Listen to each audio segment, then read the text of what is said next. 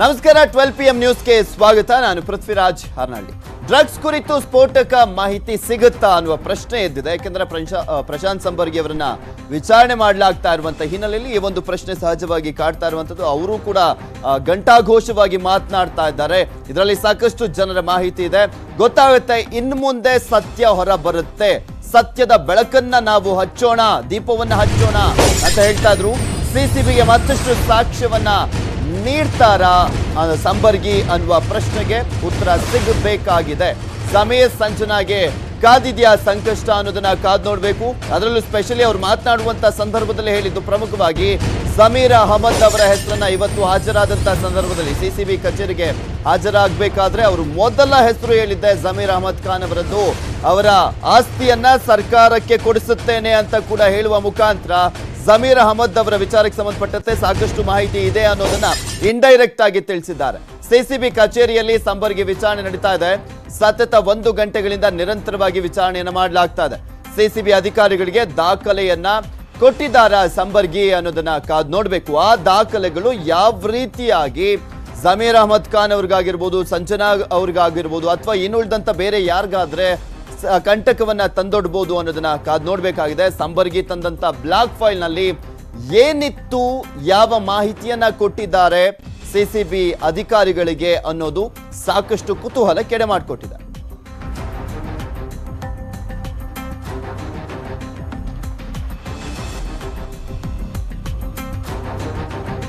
ಶಾಸಕರು ಅವ್ರು ಎಷ್ಟು ದೊಡ್ಡವರು. ಸರ್, ನೀವು ಶಾಸಕರಲ್ಲ, ಜಮೀರ್ ಅಹಮದ್ ಸರ್, ನಮಸ್ಕಾರ, ನನಗೆ ನೀವು ಯಾರಂತ ಗೊತ್ತಿಲ್ಲ. ನೀವು ಹೇಗೆ ಕಾಣಿಸ್ತೀರಾ ಅಂತ ನನಗೆ ಗೊತ್ತಿಲ್ಲ.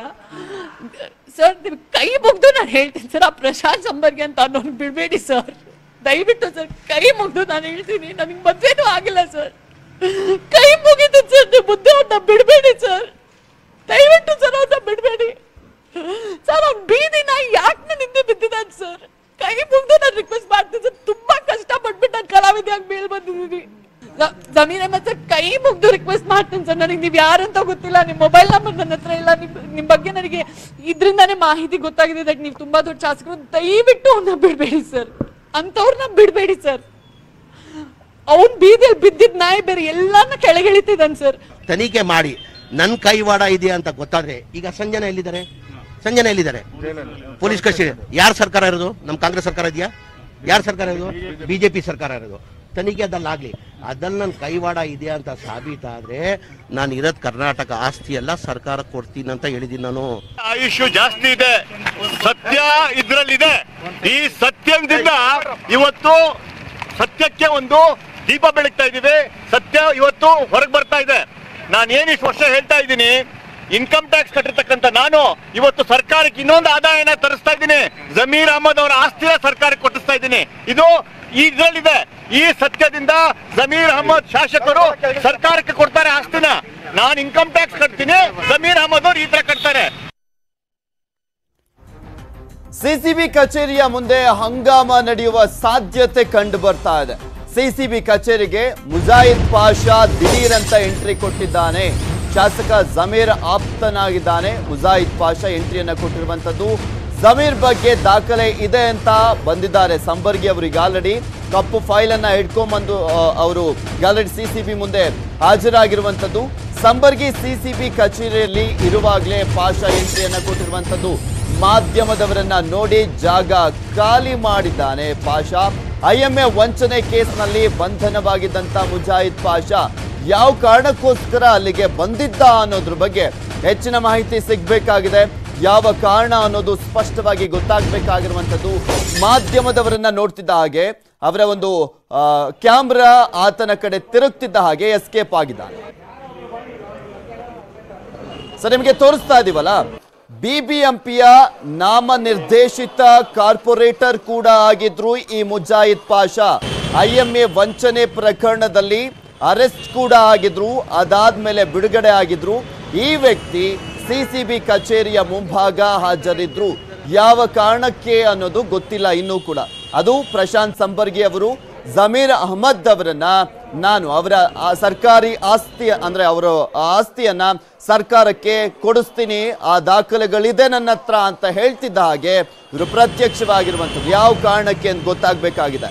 ಜಮೀರ್ ಅಹಮದ್ ಖಾನ್ ಅವರ ಅತ್ಯಾಪ್ತರಲ್ಲಿ ಇವರು ಕೂಡ ಒಬ್ಬ ಮುಜಾಹಿದ್ ಪಾಷಾ, ನಿಮಗೆ ಗೊತ್ತಿರ್ಬೋದು ಐ ಎಂ ಎ ವಂಚನೆ ಪ್ರಕರಣ ದೊಡ್ಡ ಮಟ್ಟದಲ್ಲಿ ಸದ್ದನ್ನ ಮಾಡಿದಂತ ಸಂದರ್ಭದಲ್ಲಿ ಇವರು ಕೂಡ ಅರೆಸ್ಟ್ ಆಗಿದ್ರು.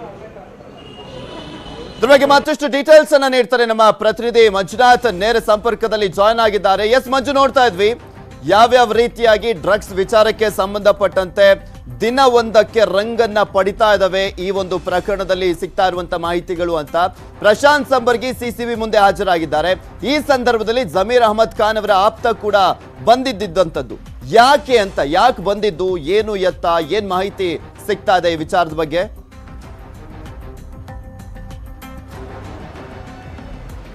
ಎಸ್ ಪೃಥ್ವಿ, ಸ್ಯಾಂಡಲ್ವುಡ್ನ ಡ್ರಗ್ಸ್ ಮಾಫಿಯಾಕ್ಕೆ ಸಂಬಂಧಿಸಿದಂತೆ ಪ್ರಶಾಂತ್ ಸಂಬರ್ಗೆ ಕೂಡ ಅಷ್ಟೇ ಜಮೀರ್ ಅವರ ಹೆಸರನ್ನು ಕೂಡ ಉಲ್ಲೇಖ ಮಾಡಿದ್ರು. ಅದರನ್ವಯವಾಗಿ ಸಿಸಿಬಿ ಅಧಿಕಾರಿಗಳು ಒಂದು ನೋಟಿಸ್ ಅನ್ನು ಕೊಟ್ಟು ವಿಚಾರಣೆಗೆ ಹಾಜರಾಗುವಂತ ಸೂಚನೆ ಕೊಟ್ಟಿದ್ರು. ಆ ವಿಚಾರಣೆಗೆ ಈಗ ಪ್ರಶಾಂತ್ ಸಂಬರ್ಗಿ ಬಂದಿದ್ದಾರೆ. ಅವರು ಕೂಡ ಸಿಸಿಬಿ ಕಚೇರಿ ಒಳಭಾಗದಲ್ಲಿ ವಿಚಾರಣೆಗೆ ಒಳಪಟ್ಟಿದ್ದಾರೆ. ಇದರ ಬೆನ್ನಲ್ಲೇ ಮುಜಾಹಿದ್ ಪಾಷಾ, ಈತ ಏನು ನಾಮನಿರ್ದೇಶಿತ ಕಾರ್ಪೊರೇಟರ್, ಹಿಂದೆ ಶಿವಾಜಿನಗರದಲ್ಲಿ ಕಾರ್ಪೊರೇಟರ್ ಆಗಿದ್ರು. ಜೊತೆಗೆ ಐ ಎಂ ಎ ಕೇಸ್ನಲ್ಲಿ ಕೂಡ ಅಷ್ಟೇ ಈತ ಅರೆಸ್ಟ್ ಕೂಡ ಆಗಿದ್ದ. ಇನ್ ಮತ್ ಜೊತೆಗೆ ಪ್ರಮುಖವಾಗಿ ಇದೇ ಒಂದು ಜಮೀರ್ ಅಹಮದ್ ಖಾನ್ ಅವರ ಅತ್ಯಾಪ್ತರಲ್ಲಿ ಈತನು ಕೂಡ ಒಬ್ಬರಾಗಿದ್ದಾರಂಥದ್ದು ಆದರೆ ಒಂದು ಕಡೆ ಜಮೀರ್ ಅಹಮದ್ ಖಾನ್ ಅವರ ವಿರುದ್ಧವಾಗಿ ಸ್ಟೇಟ್ಮೆಂಟನ್ನು ಕೊಡೋದಕ್ಕೆ ಮತ್ತು ಕೆಲವೊಂದು ಸಾಕ್ಷಿಗಳನ್ನು ಕೊಡೋದಕ್ಕೆ, ಕೆಲವೊಂದು ದಾಖಲೆಗಳನ್ನು ಕೊಡೋಕ್ಕೆ ಪ್ರಶಾಂತ್ ಸಂಬರ್ಗಿ ಬಿ ಕಚೇರಿಯ ಒಳಭಾಗದಲ್ಲಿದ್ದಂತಹ ವೇಳೆಯಲ್ಲಿ ಇದೇ ಒಂದು ಮುಜಾಹಿದ್ ಪಾಷಾ ಕೂಡ ಅಷ್ಟೇ ಸಿಸಿಬಿ ಕಚೇರಿಗೆ ಬಂದಿರುವಂತದ್ದು ಸಾಕಷ್ಟು ಒಂದು ಅನುಮಾನಗಳಿಗೆ ಎಡೆ ಮಾಡಿಕೊಟ್ಟಿದೆ. ಯಾಕಂದ್ರೆ ಈ ದಿಢೀರಾಗಿ ಯಾವ ಒಂದು ಉದ್ದೇಶಕ್ಕೆ ಬಂದ್ರು ಅವರು ಯಾಕಂದ್ರೆ ಒಳಗಡೆ ಪ್ರಶಾಂತ್ ಸಂಬರ್ಗ್ ಇದ್ದಾರೆ ಜಮೀರ್ ಅವರು ವಿರುದ್ಧವಾಗಿ ಸ್ಟೇಟ್ಮೆಂಟ್ ಕೊಡೋಕೆ ಬಂದಿದ್ದಾರೆ. ಇದನ್ನು ತಿಳಿದೇನಾದ್ರೂ ಅವರು ಇಲ್ಲಿಗೆ ಬಂದ್ರ? ಅಥವಾ ಇಲ್ಲಿನ ಒಂದು ಚಟುವಟಿಕೆಗಳ ಬಗ್ಗೆ ತಿಳಿದುಕೊಳ್ಳೋಕೆ ಏನಾದರೂ ಬಂದ್ರ ಅಂತ ಸಾಕಷ್ಟು ಅನುಮಾನಗಳು ಕೂಡ ವ್ಯಕ್ತ ಆಯಿತು ಮಾಧ್ಯಮದವರು ಕೂಡ ಅಷ್ಟೇ ಅವರನ್ನ ಪ್ರಶ್ನೆಯನ್ನು ಮಾಡಿದ್ರೆ ಯಾವ ಒಂದು ಕಾರಣಕ್ಕೋಸ್ಕರ ನೀವು ಇಲ್ಲಿಗೆ ಬಂದಿದ್ದು? ಯಾಕಂದ್ರೆ ಒಳಗಡೆ ನಿಮ್ಮ ಒಂದು ಆಪ್ತರಾಗಿರುವಂತಹ ಜಮೀರ್ ಅಹಮದ್ ಖಾನ್ ಅವರ ವಿರುದ್ಧವಾಗಿ ಕೆಲವೊಂದು ಸಾಕ್ಷ್ಯಗಳು ಮತ್ತು ಕೆಲವೊಂದು ಸ್ಟೇಟ್ಮೆಂಟ್ ಕೊಡೋಕೆ ಪ್ರಶಾಂತ್ ಸಂಬರ್ಗ್ ಇದ್ದಾರೆ. ಇಂಥ ಟೈಮ್ನಲ್ಲಿ ನೀವು ಬಂದಿದ್ದಾರ, ಉದ್ದೇಶ ಏನು ಅಂತ ಮಾಧ್ಯಮದವರು ಕೂಡ ಪ್ರಶ್ನೆಯನ್ನು ಮಾಡಿದ್ರು. ಆದರೆ ನಾನು ಬಂದಂಥ ಉದ್ದೇಶವೇ ಬೇರೆ. ಯಾಕಂದ್ರೆ ನಾನು ಸುಮಾರು ಐದು ದಿನಗಳ ಕಾಲ ಊರ, ಬೆಂಗಳೂರು ನಗರದಲ್ಲಿ ಇರ್ತಾ ಇರಲಿಲ್ಲ, ಇರಲ್ಲ. ಆ ಒಂದು ಕಾರಣಕ್ಕೋಸ್ಕರ ಸಿ ಸಿ ಬಿ ಅಧಿಕಾರಿಗಳ ಗಮನಕ್ಕೆ ಹೇಳೋಕೆ ಅಂತ ಬಂದೆ ಅಂತ. ಇವ್ರು ಐದು ದಿನ ಬೆಂಗಳೂರಿನಲ್ಲಿ ಇಲ್ಲ ಅಂದರೆ ಸಿ ಸಿ ಬಿ ಅಧಿಕಾರಿಗಳ ಗಮನಕ್ಕೆ ಕೊಡು, ಹೇಳುವಂಥದ್ದು ಏನಿತ್ತು ಅನ್ನುವಂಥ ಸಾಕಷ್ಟು ರೀತಿಯಂಥ ಪ್ರಶ್ನೆಗಳು ಈಗ ಉದ್ಭವ ಆಗ್ತಿರುವಂಥದ್ದು. ಒಟ್ಟಾರೆಯಾಗಿ ಮಾಧ್ಯಮದವರನ್ನ ಕಂಡಂತ ತಕ್ಷಣವೇ ಏನು ಮುಜಾಹಿದ್ ಪಾಷಾ ಇಲ್ಲಿಂದ ಕಾಲ್ಕಿತ್ತಿದ್ದಾರೆ ಜೊತೆಗೆ ಅಧಿಕಾರಿಗಳು ಕೂಡ ಅಷ್ಟೀಗ ಅವರು ಯಾಕೆ ಬಂದಿದ್ರು, ಏನು ಅನ್ನೋದ್ರ ಬಗ್ಗೆ ಮಾಹಿತಿ ಕಲಾಕ ಕೂಡ ಹೊರಟಿರುವಂತಹದ್ದು ಸದ್ಯಕ್ಕೆ ಪ್ರಶಾಂತ್ ಸಂಬರ್ಗಿಯ ಒಂದು ವಿಚಾರಣೆ ಕೂಡ ಈಗಾಗಲೇ ಸಿ ಸಿ ಬಿ ಅಧಿಕಾರಿಗಳು ನಡೆಸ್ತಾ ಇದ್ದಾರೆ. ಸುಮಾರು ಒಂದೂವರೆ ಗಂಟೆಗಳಿಂದಲೂ ಕೂಡ ಅಷ್ಟೇ ಅವರಿಂದ ಸಾಕಷ್ಟು ರೀತಿಯ ಮಾಹಿತಿಯನ್ನು ಕಲೆ ಹಾಕ್ತಿದ್ದಾರೆ. ಎ ಸಿ ಪಿ ಮತ್ತು ಇನ್ಸ್ಪೆಕ್ಟರ್ ಅವರೇ ಖುದ್ದಾಗಿ ಪ್ರಶಾಂತ್ ಸಂಬರ್ಗಿಂದ ಸ್ಟೇಟ್ಮೆಂಟ್ ಪಡ್ಕೊತಿದ್ದಾರೆ ಪಡ್ಕೊಂತಿದ್ದಾರೆ. ಜೊತೆಗೆ ಮಾಧ್ಯಮದಲ್ಲಿ ಅವರು ಏನೆಲ್ಲ ಒಂದು ಹೇಳಿಕೆಗಳನ್ನು ಹೇಳಿದ್ರು ಆ ಒಂದು ಹೇಳಿಕೆಗಳಿಗೆ ತಕ್ಕಂತ ಎಲ್ಲ ಒಂದು ರೀತಿ ಇನ್ಫಾರ್ಮೇಷನ್ ಅನ್ನು ಕೂಡ ಈಗಾಗಲೇ ಕಲೆಕ್ಟ್ ಮಾಡ್ಕೊಂತಿದ್ದಾರೆ. ಪ್ರಮುಖವಾಗಿ ಇಲ್ಲಿ ಜಮೀರ್ ಅಹಮದ್ ಖಾನ್ ಯಾಕಂದ್ರೆ ಜಮೀರ್ ಅದೇ ಪ್ರಶ್ನೆ ಇರುವಂತದ್ದು. ಒಬ್ಬ ಶಾಸಕರ ಹೆಸರನ್ನ ಅದು ಬಹಿರಂಗವಾಗಿ ಅವರ ಬಗ್ಗೆ ಹೇಳ್ತಾ, ಅವರ ಮಾಹಿತಿ ನನ್ನ ಬಳಿ ಇದೆ ಅಂತ ಹೇಳ್ತಾ ಇದ್ದಂತ ಪ್ರಶಾಂತ್ ಸಂಬರ್ಗಿ ಅವರು ಇವತ್ತು ಸಿ ಸಿ ಮುಂದೆ ಹಾಜರಾಗಿರುವಂಥದ್ದೇ ಸಾಕಷ್ಟು ಕುತೂಹಲದ ಜೊತೆಗೆ ಏನು ದಾಖಲೆಗಳನ್ನು ಕೊಡ್ಬೋದು ಅನ್ನುವ ಒಂದು ಕೌತುಕ ಎಲ್ಲರಲ್ಲೂ ಕೂಡ ಮನೆ ಮಾಡಿದೆ. ಎಲ್ಲೊಂದು ಕಡೆ ಇವರ ಮಾಹಿತಿಗಳು, ಇವರ ದಾಖಲೆಗಳು ಎಲ್ಲವೂ ಕೂಡ ಪಕ್ಕ ಆಗಿದ್ರೆ ಜಮೀರ್ ಅಹಮದ್ ಖಾನ್ ಅವ್ರಿಗಂತೂ ಕಂಟಕ ಎದುರಾಗುವಂತ ಎಲ್ಲ ಸಾಧ್ಯತೆ ಇದೆ ಅಂತ ಕಾಣಿಸ್ತಾ ಇದೆ ಹಾಗಾದ್ರೆ.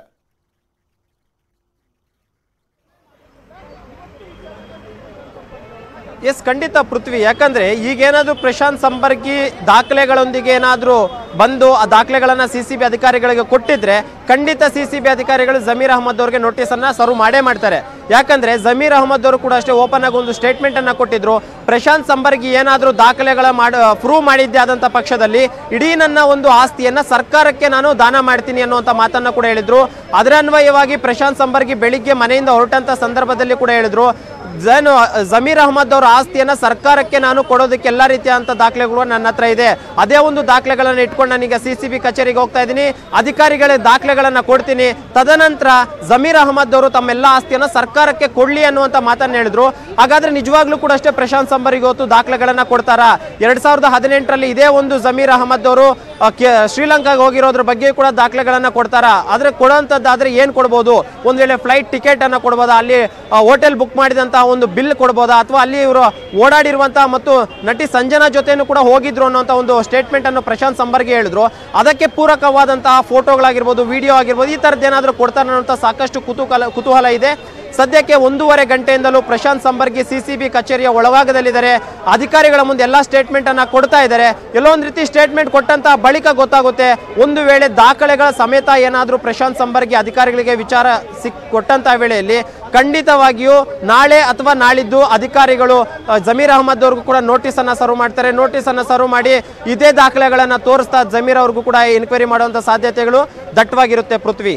Okay thank you Manju. ನಿಮ್ಮೆಲ್ಲ ಡೀಟೇಲ್ಸ್ಗಾಗಿ ಇನ್ನ ತಪ್ಪು ಮಾಡದಿದ್ರೆ ಜಮೀರ್ಗೆ ಗಿಲ್ಟ್ ಯಾಕೆ ಅನ್ನುವ ಪ್ರಶ್ನೆಯನ್ನ ಎತ್ತಿದ್ದಾರೆ. ಅಲ್ಪಸಂಖ್ಯಾತ ಅಂತೆಲ್ಲ ಯಾಕೆ ಹೇಳಬೇಕು? ಸಚಿವ ಎಸ್ ಟಿ ಸೋಮಶೇಖರ್ ಅವರು ಹೇಳಿಕೆಯನ್ನ ನೀಡಿರುವಂತದ್ದು ಮಾಜಿ ಗೆಳೆಯ ಎಸ್ ಟಿ ಸೋಮಶೇಖರ್ ಅವರು ಹೇಳಿಕೆಯನ್ನ ಕೊಟ್ಟಿದ್ದಾರೆ. ತಪ್ಪು ಮಾಡದಿದ್ರೆ ಜಮೀರ್ಗೆ ಗಿಲ್ಟ್ ಯಾಕೆ ಈ ವಿಚಾರದಲ್ಲಿ ಅಲ್ಪಸಂಖ್ಯಾತ ಅಂತೆಲ್ಲ ಯಾಕೆ ಹೇಳಬೇಕು ಜಮೀರ್ ಅಹಮದ್ ಖಾನ್ ಅವರು ಅಂತ ಅವರು ಮಾತನಾಡಿರುವಂತದ್ದು.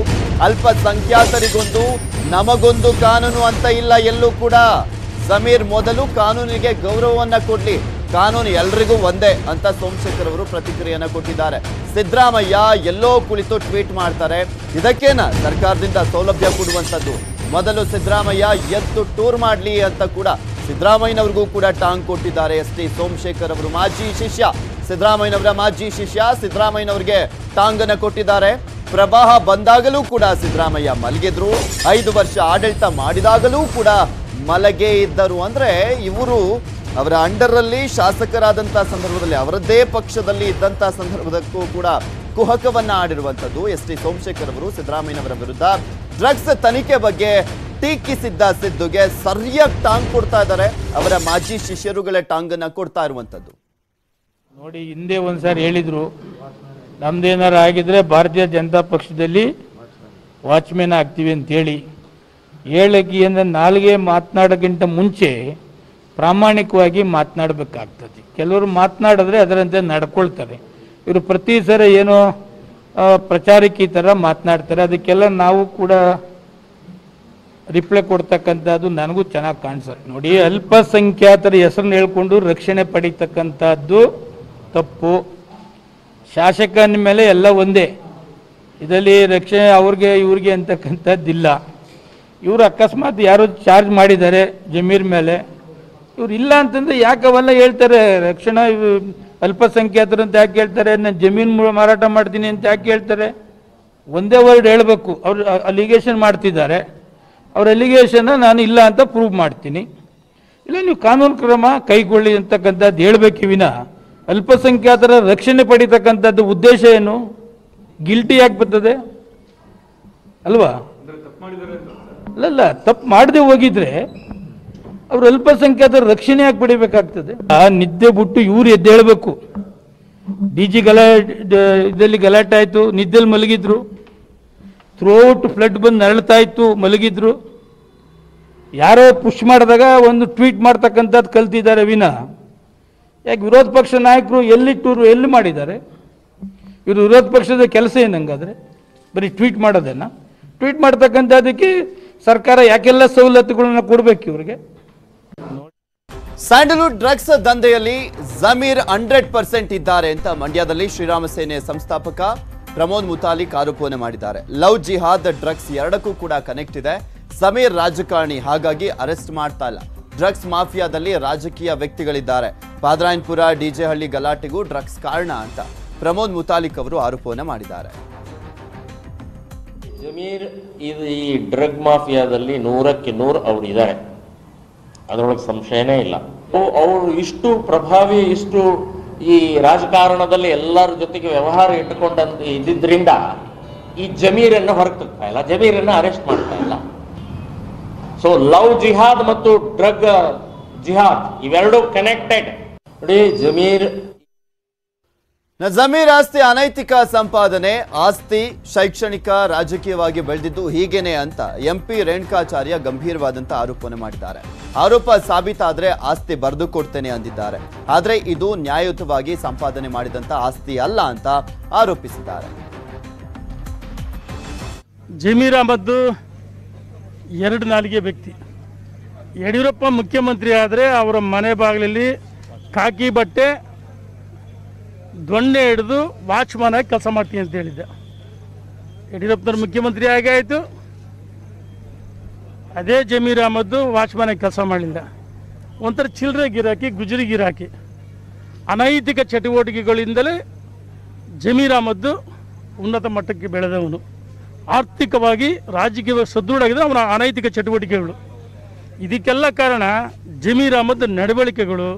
ಬಹುಶಃ ಅನೇಕ ಬಾರಿ ದುಬಾಯಿ ಶ್ರೀಲಂಕಾ ಬೇರೆ ಬೇರೆ ದೇಶಗಳಿಗೆ ಕ್ಯಾಸಿನೋದಲ್ಲಿ ಭಾಗವಹಿಸಿದರೆ ಬಹುಶಃ ತನಿಖೆಯಿಂದ ಹೊರಗಡೆ ಸತ್ಯಾಂಶ ಬರುತ್ತೆ. ನಾನು ಸವಾಲಾಗ್ತೀನಿ ಜಮೀರ್ ಅಹಮದ್ರವರೇ ಅನೇಕ ಬಾರಿ ಸವಾಲುಗಳು ಆಶಾ ಕಾರ್ಯಕರ್ತರ ಮೇಲೆ ಅಲ್ಲೇ ಮಾಡಿಸಿದೆ, ಅಂಥವ್ರು ರಕ್ಷಣೆ ಮಾಡಿದೆ. ಸವಾಲುಗಳು ಹಾಕಿ, ಆ ಸವಾಲುಗಳನ್ನು ನಾವು ಅನೇಕ ಬಾರಿ ಸ್ವೀಕಾರ ಮಾಡಿದೀವಿ. ನೀನು ಇವತ್ತಿಂದಲೇ ರಾಜಕೀಯ ಸನ್ಯಾಸತೆ ತೆಗೆದುಕೊಳ್ಬೇಕು. ಬಹುಶಃ ನಮ್ಮ ಸರ್ಕಾರ ಎಲ್ಲ ತನಿಖೆ ಹಂತದಲ್ಲಿದೆ. ತನಿಖೆ ಮಾಡುತ್ತೆ. ನಿರ್ದಾಕ್ಷಿಣ್ಯ ಕ್ರಮ ಜರುಗಿಸ್ತೀವಿ ನಿನ್ನ ಆಸ್ತಿ ಯಾವುದು ಸ್ವತಂತ್ರವಾಗಿ ದುಡಿಮೆಯಿಂದ ಬಂದಂಥ ಆಸ್ತಿ ಅಲ್ಲ. ಇವೆಲ್ಲ ಅನೈ, ಅನೈತಿಕ ಚಟುವಟಿಕೆಗಳಿಂದ ಸಂಪಾದನೆ ಮಾಡಿದಂಥ ಆಸ್ತಿ. ನಮ್ಮ ಸರ್ಕಾರ ಯಾರೇ ಇರಲಿ, ಅವ್ರೂರು ಅಂತ ಹೇಳಲ್ಲ ಮುಲಾಜಿದಂಗೆ ಮಟ್ಟ ಹಾಕ್ತೀವಿ. ಜಮೀರ್ ಅಹಮದ್. ಶಾಸಕ ಜಮೀರ್ ಅಹಮದ್ಗೆ ಬಿಜೆಪಿ ಶಾಸಕ ಎಸ್ ಎ ರಾಮದಾಸ್ ಕೂಡ ಟಾಂಗ್ ಅನ್ನ ಕೊಟ್ಟಿದ್ದಾರೆ. ಯಡಿಯೂರಪ್ಪ ಮುಖ್ಯಮಂತ್ರಿ ಆದ್ರೆ ಅವರ ಮನೆ ಮುಂದೆ ವಾಚ್ಮ್ಯಾನ್ ಆಗ್ತೇನೆ ಅಂತ ಹೇಳಿದ್ರಿ.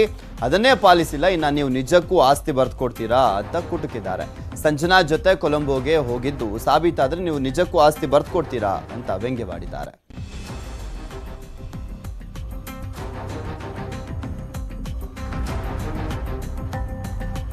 ಡ್ರಗ್ಸ್ ದಂಧೆ ತನಿಖೆ ವಿಚಾರವಾಗಿ ಮಾತನಾಡಿರುವಂತಹ ಸಚಿವ ಸುರೇಶ್ ಕುಮಾರ್ ಪೊಲೀಸ್ ಇಲಾಖೆಗೆ ಮುಕ್ತ ಹಾಗೂ ಸಂಪೂರ್ಣ ಸ್ವಾತಂತ್ರ್ಯವನ್ನು ನೀಡಲಾಗಿದೆ ಅಂತ ಹೇಳಿದ್ದಾರೆ. ಬೇರು ಮಟ್ಟದಲ್ಲಿ ತನಿಖೆಗೆ ಸೂಚಿಸಲಾಗಿದೆ. ಡ್ರಗ್ಸ್ ವಿಚಾರದಲ್ಲಿ ಯಾರು ರಾಜಕೀಯ ಮಾಡಬಾರದು. ಯುವ ಜನಾಂಗವನ್ನ ಹಾಳು ಮಾಡ್ತಾ ಇರುವಂತ ದರಿದ್ರ ದಂಧೆ ಇದು. ಬೇರು ಮಟ್ಟದಲ್ಲಿ ತನಿಖೆಗೆ ಸೂಚಿಸಲಾಗಿದೆ ಅಂತ ಹೇಳಿದ್ದಾರೆ. ಇದೇ ವೇಳೆ ಸಿದ್ದರಾಮಯ್ಯ ಟ್ವೀಟ್ಗೆ ಪ್ರತಿಕ್ರಿಯಿಸಿರುವಂತಹ ಸಚಿವರು, ಸಿದ್ದರಾಮಯ್ಯ ಅವರಿಗೆ ಸಂಪೂರ್ಣ ಭರವಸೆಯನ್ನು ಕೊಡ್ತೇನೆ. ಸರ್ಕಾರ ಗಟ್ಟಿ ನಿರ್ಧಾರವನ್ನ ತೆಗೆದುಕೊಂಡಿದೆ. ತನಿಖೆ ಹಾದಿ ತಪ್ಪಲಿಕ್ಕೆ ಅವಕಾಶ ನೀಡೋದಿಲ್ಲ ಅಂತ ಕೂಡ ಹೇಳಿದ್ದಾರೆ.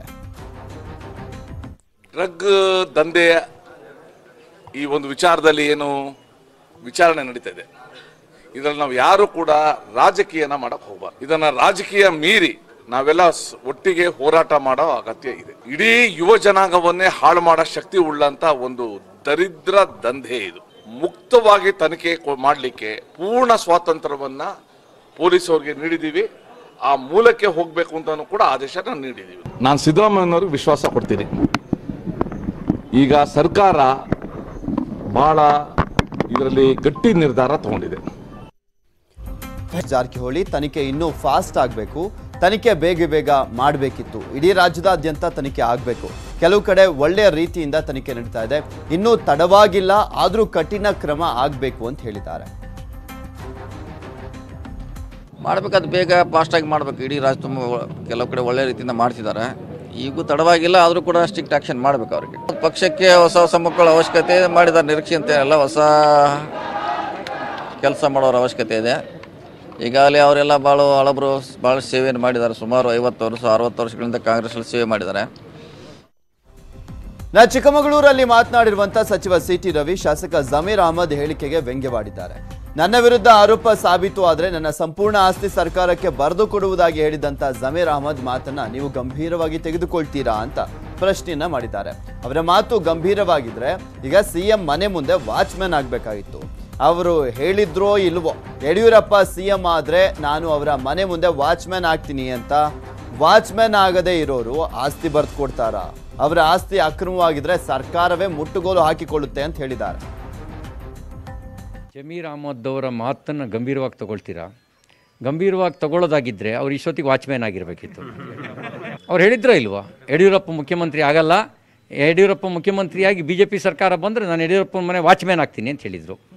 ಆಗಿದ್ದಾರಾ? ಹಾಗೆ ಆಗದೇ ಇರೋರು ಆಸ್ತಿ ಬರ್ಕೊಡ್ತಾರ? ಮತ್ತು ಆಸ್ತಿ ಅಕ್ರಮ ಆದರೆ ಸರ್ಕಾರವೇ ಮುಟ್ಕೋಲು ಹಾಕೊಳ್ಳುತ್ತೆ ಎಲ್ಲಿ ಮಾಡಕ್ಕೆ ಬರ್ಕೊಳ್ಳೋದು ಸರ್ಕಾರವೇ ಮುಟ್ಕೋಲು ಹಾಕೊಳ್ಳುತ್ತೆ ಹಾಗಾಗಿ ಅವರ ಈ ರಾಜಕೀಯ ಹೇಳಿಕೆ ಬಗ್ಗೆ ನಾವು ರಾಜ್ಯ ಜನನೇ ಗಂಭೀರವಾಗಿ ತಗೊಂಡಿಲ್ಲ. ನಿಜವಾಗ್ಲೂ ಅವರು ಮಾತಿಗೆ ತಕ್ಕಂತೆ ನಡೆಯೋರಾದರೆ ಮೊದಲು ಏನಾಗಬೇಕು ಅವರು? ಆಗಿದ್ದಾರೆ ಅವರು, ಮೊದಲು ಅದಾಗಲಿ. ಜ